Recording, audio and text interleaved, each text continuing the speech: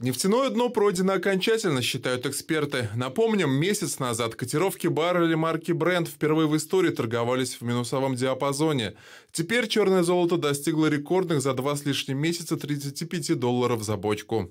Восстановлением а, спроса со стороны многих стран Китай вышел на докризисные, до пандемии а, масштабы потребления нефти. Европа постепенно начинает потреблять а, нефть, но и в том числе э, такие низкие, в том числе отрицательные цены на нефть, которые мы уже видели, они сами по себе говорят о том, что рано или поздно нефть должна была расти.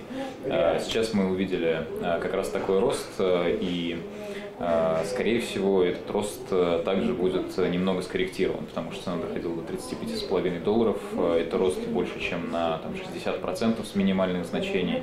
На таком фоне серьезно укрепляется рубль. Плюс к этому иностранные инвесторы активно покупают за валюту российские облигации федерального займа. Доллар опустился ниже 72 рублей, обновив минимум с 11 марта. Евро закрепился на отметке в 79 рублей. В целом мировые рынки настроены оптимистично.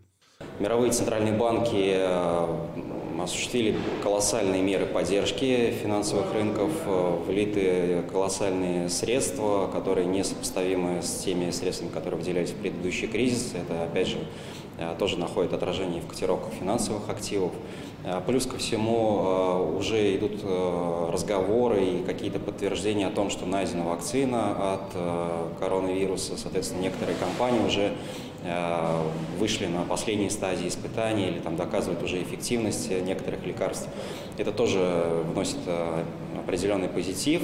Но есть и негативный фактор, который может замедлить рост. Данное состояние мировой экономики по итогам второго квартала будут, по прогнозам экспертов, плачевными. И как следствие падение российского ВВП в 2020 году составит 6%.